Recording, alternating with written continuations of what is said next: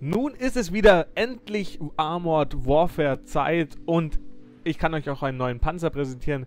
Leider hat es der bei der ersten Testphase noch nicht geschafft, gezeigt zu werden, beziehungsweise ich hatte ihn schon aufgenommen, aber leider hat mir die Aufnahme zerstört. Nun also der Tier 3 M60 Patton. Ein sehr schöner und dann auch jetzt einfach mal spannender Panzer, weil er deutlich mehr HP hat als die anderen. Ich gehe auch mal hier auf das Dealer-System und zeige ihn euch. Äh, wo war er? Bei den Wölflis, glaube ich. Genau. Da ist er bei den Wölflis. Das heißt M113, dann der LAV und da unten kommt dann schon M60 Patton und Leopard. Geht dann hier weiter. Eine sehr schöne Linie, wie ich finde. Und nun gibt es auch dann dementsprechend Tier 7, wo dann zum Beispiel auch der Abrams ist. Oh, das kenne ich noch gar nicht. Man kann ja so reinzoomen. Das ist cool. Okay, das ist auch für mich neu. Und wir schauen uns auch nochmal hier an, weil auch da gibt es natürlich jetzt Tier 7 Panzer. Stingray, Challenger One, T80. Auch sehr spannend.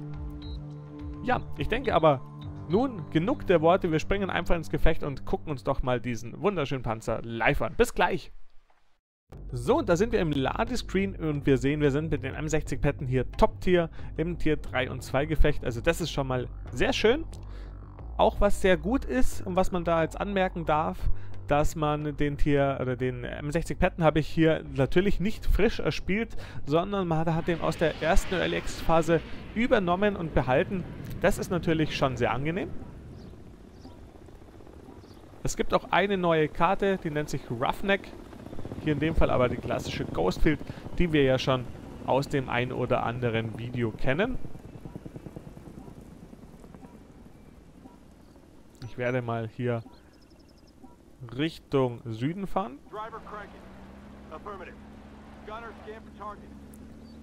Auch vielleicht eine nette Randnotiz und gut zu wissende Randnotiz. Ähm, ihr seht ja, das Spiel eigentlich schon recht performant läuft, gerade in der Aufnahme immer noch ein bisschen ruckelt, also ohne Aufnahme ist es schon sehr flüssig bei mir alles. Allerdings ist dieses Spiel noch nicht finalisiert in der Form, dass da nicht noch was passiert. Also da haben sie schon die Entwickler gesagt, wenn dann das Game und die Serverstruktur so ist, wie sie sich vorstellen, dass sie dann an die Performance gehen. Das heißt also, bei Leuten, wo das Spiel aktuell ein bisschen unrund laufen mag, keine Sorge, das wird noch besser.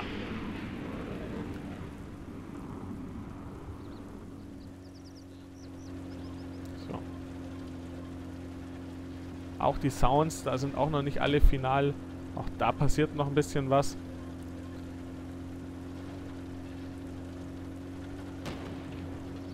So, mal schauen, was da vorne jetzt aufgeht. Auf was wir da schießen können gleich. Ein bisschen was war ja schon offen.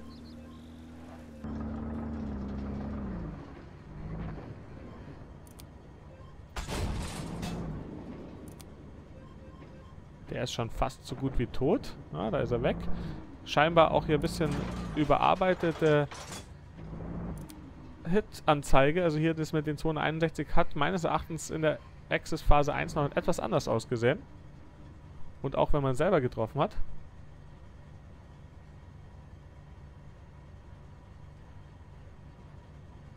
Also man sieht, da wird definitiv gerade dran gearbeitet.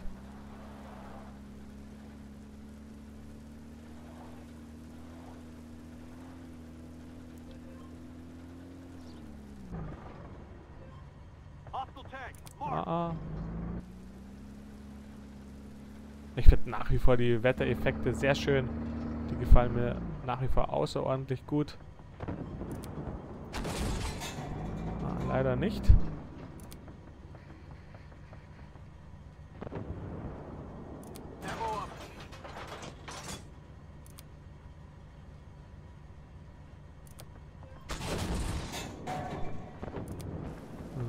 Bin ich offen.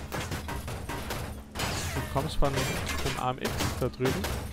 Ja, kleiner Scheißer, du. Du bekommst natürlich gleich mal... Oh, da bekomme ich jetzt aber ein bisschen mehr. Jetzt keine harten Hits, aber unangenehm.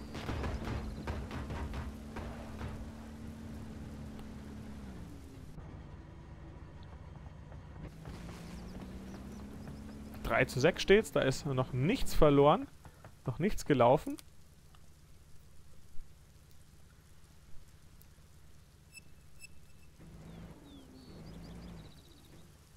Erstmal taktisch warten.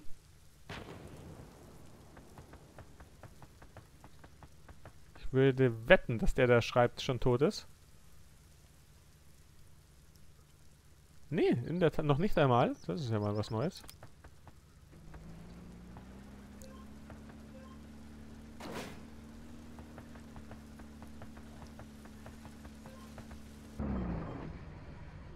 Der steht hier unterm Stein. Jetzt muss ich mich mal nach vorne bewegen. Weil die werden natürlich... Genau, langsam cappen. Genau, das war jetzt die Befürchtung, die ich hatte.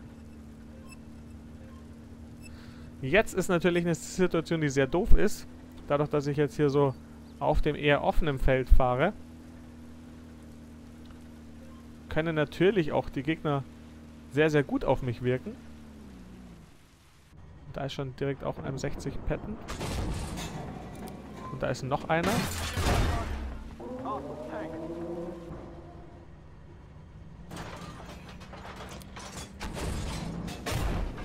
So, diesmal hat er mich durchschlagen. Aber es steht 7 zu 7. Das ist noch... Da ist noch nichts gelaufen.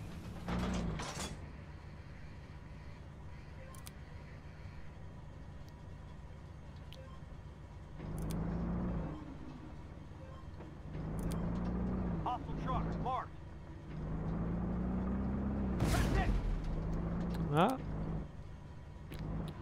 Jetzt haben sie ja Vor den Vorteil des Tarnsystems, dass sie hier natürlich... Aber wir liegen mittlerweile in Führung, das heißt, wenn wir da entspannt machen, jetzt muss ich nur aufpassen, weil der haut mir hier ganze Zeit auf die Kette. Jetzt cappen sie wieder.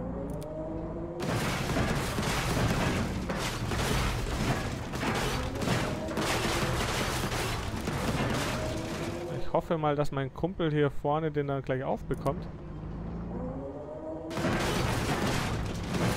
Ja. Bekommt er nicht, aber ich schätze mal, das ist der Scorpion. So von der durch, vom Durchschlag her könnte das gut sein. Jetzt werde ich mal weiter vorfahren. Jetzt habe ich mir hier die Faxen dicke.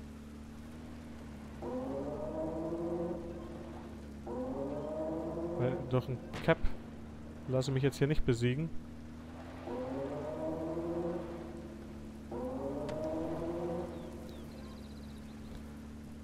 Da steht doch der eine im Cap. So, jetzt haben sie mir mich angezündigt. Äh, angezündigt, angezündet. Und da hat er mir jetzt ordentlich Schaden gemacht.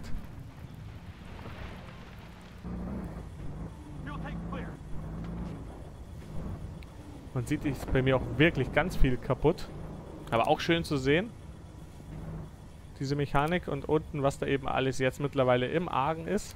Hier zu sehen. Zack, zack, zack. Aber dem geben wir noch eine. So leicht machen wir es dem nicht.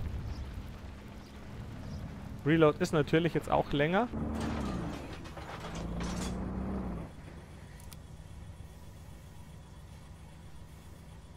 Da ist er raus.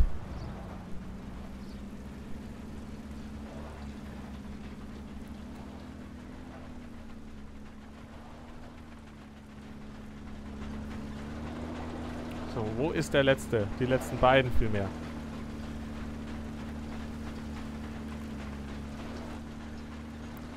Panzer ist gefühlt gerade nicht mehr der frischeste. Scheppert auch unrund.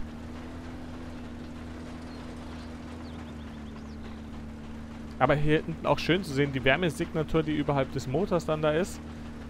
Dieses Flackern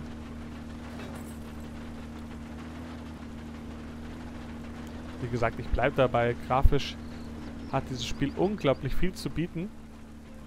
So, da ist jetzt schon der erste T62 offen. Meine Geschwindigkeit ist mit 21 km durchaus überschaubar. Oh, schöne Explosion. Wir sind jetzt gerade am Cap. Da sind sie beide. Mit 37 Sekunden dauert das Ganze jetzt also noch. Bis wir es durchgekappt haben. Schau mal, ob sie es durchcappen oder ob sie rausfahren, um die anderen zwei zu holen.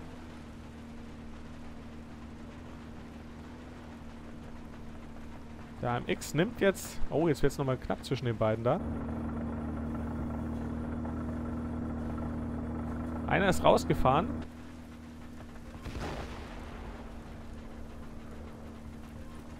Oh, da bin ich offen.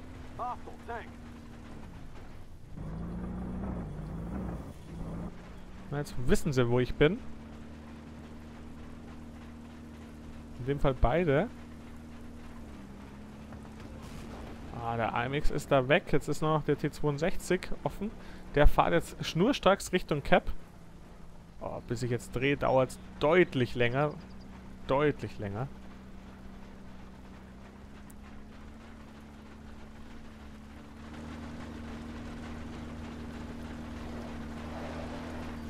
So, jetzt mal schauen, ob ich noch was von dem abbekomme. Ich glaube es fast eher nicht. Trotzdem glaube ich, hat man in der Runde unglaublich viel gesehen und das ist für mich bei dem Spiel aktuell das Wichtigste, euch möglichst viel präsentieren zu können. Und Feuer gefangen habe ich bisher noch nie, also deswegen ist es trotzdem eine sehenswerte Runde. Und ich glaube nicht, dass es die letzte Runde bleiben wird. So, jetzt hält der Maximus von hinten rein.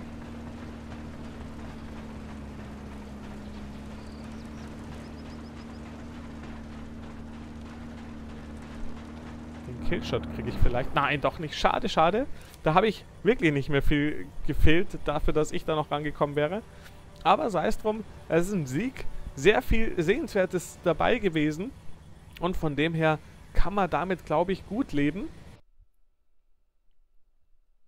Nun gucken wir auf das Scoreboard.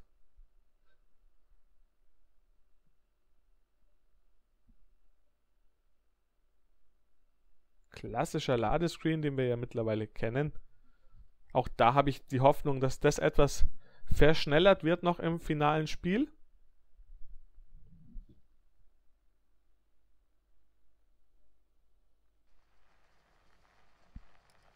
So. Die Performance von mir lassen wir mal aus. Da sieht man ja hier schon so ein bisschen die Übersicht, aber ich gucke mir das lieber im Finale an. Naja, und da bin ich doch in die Top in die Top 5 gekommen mit dem Schaden und von den XP in die Top 6. Also, man sieht hier an dem T62, dass es deutlich besser ging. Der hat eine fantastische Runde gehabt. Auch der M60 Patton hier fantastisch gespielt. Ich habe mich da so ein bisschen unten einsortiert. Aber wie gesagt, ich hoffe, euch hat es trotzdem gefallen. Und wenn ja, lasst mir doch einen Kommentar oder einen Daumen sehr gerne da. Bis bald, euer Karamba.